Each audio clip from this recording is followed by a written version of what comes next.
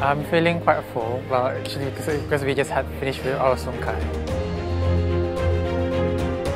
I'm really happy with the with the Ramadan drive, uh, especially like with the route and everything. And I'm happy that we managed. Well, there's a lot of like Porsche drivers that joined this uh, drive.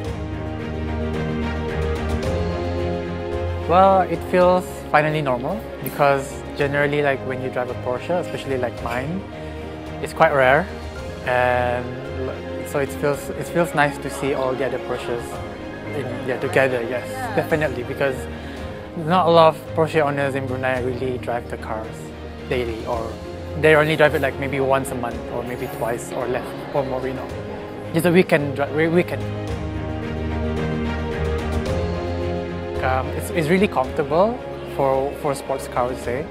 Um, and because of the because of the Boxster itself, um, so we have two trunks.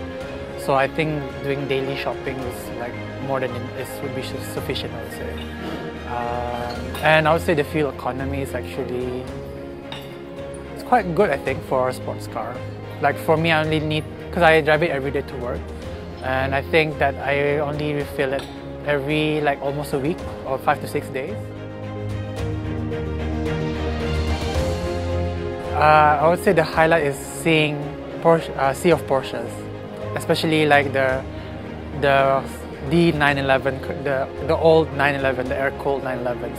I would say that's the highlight, and I would say um, the photo the photo group. I think in Temburong, I think that was a very nice location for like both in the waterfront, I think, and at the um, at the park. Yeah. Perfect. Yeah. And also the Sungkai, definitely.